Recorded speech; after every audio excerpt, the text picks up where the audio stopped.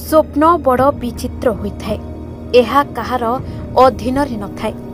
ଏହା କେତେବେଳେ ଆସିବ କହିକରି ଆସିନଥାଏ କିଛି ସ୍ୱପ୍ନ ନିଦରୁ ଉଠିବା ପରେ ମନେ ରହିଥାଏ ତ ଆଉ କିଛି ସ୍ୱପ୍ନ ଭୁଲି ହୋଇଯାଇଥାଏ କେବେ କେବେ ଖରାପ ସ୍ୱପ୍ନ ବ୍ୟକ୍ତିଙ୍କୁ ଡରାଇ ଦେଇଥାଏ।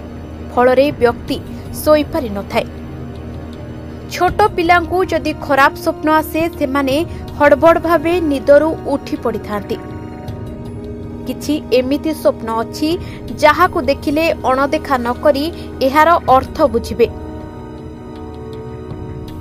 ବେଳେ ବେଳେ ଲୋକେ ଏମିତି କିଛି ଅଜବ ସ୍ୱପ୍ନ ଦେଖନ୍ତି ଯାହାର ଅର୍ଥ ବୁଝିପାରିବା କଷ୍ଟସାଧ୍ୟ ହୋଇଥାଏ। ଏହି ସ୍ୱପ୍ନ ଆପଣଙ୍କୁ ବହୁତ ଭୟଭୀତ କରିଦେଇଥାଏ। ଯଦି ଆପଣଙ୍କୁ ଏମିତି କିଛି ଅଜବ ସ୍ୱପ୍ନ ଦେଖାଯାଉଛି ଜାଣନ୍ତୁ କ'ଣ? ଏହାର ରହିଛି ଅର୍ଥ। ସ୍ୱପ୍ନରେ କେହି ଅଜଣା କଳା ଛାଇ ଦେଖାଯିବା ଯଦି କୌଣସି ବ୍ୟକ୍ତିଙ୍କ ସ୍ୱପ୍ନରେ ଆସିଥାଏ ତ ଏହାକୁ ଏକ ଅଶୁଭ ସ୍ୱପ୍ନ ମନାଯାଏ। ସ୍ୱପ୍ନ ଶାସ୍ତ୍ର ଅନୁସାରେ ଏମିତି ସ୍ୱପ୍ନ। ଈର୍ଷା ଅନ୍ଧକାର ମୃତ୍ୟୁ ଦୁଃଖ ବା ଘୃଣାର ସଂକେତ ମନାଯାଇଥାଏ।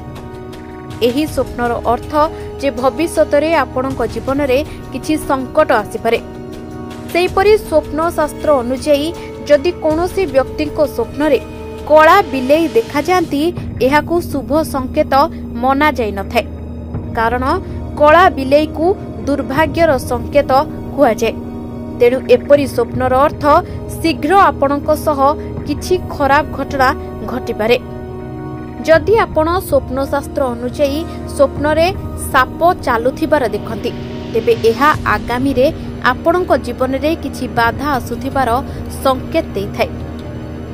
ଏହି ସ୍ୱପ୍ନ ଏହି କଥାର ସଂକେତ ଦିଏ ଯେ ଆପଣଙ୍କୁ କିଛି ସଫଳ ହେଉଥିବା କାର୍ଯ୍ୟ ବିଗିଡ଼ି ଯାଇପାରେ। Bureau report reporters today.